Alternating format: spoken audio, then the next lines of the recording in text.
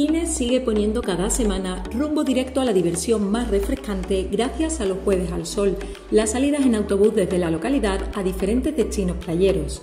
Siguiendo la variada programación prevista, esta semana el destino fue la playa gaditana de la Barrosa, hacia donde partieron desde Gines dos autobuses con más de un centenar de asistentes. La última salida del mes de julio tendrá lugar el día 28, siendo el destino El Palmar, en Cádiz. Las salidas de agosto comenzarán el día 4 con la playa de la Bota en Huelva como primer destino, continuando el día 11 en la playa de Isla Canela.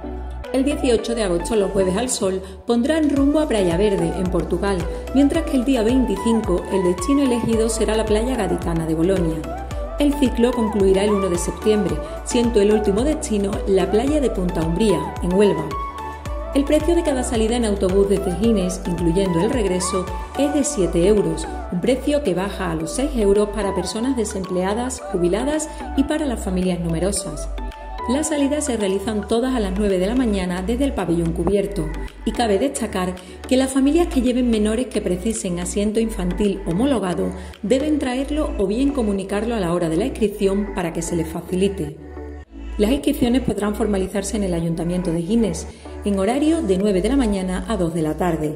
El plazo de inscripción será desde el viernes anterior a la salida a la que se quiera ir hasta el miércoles previo.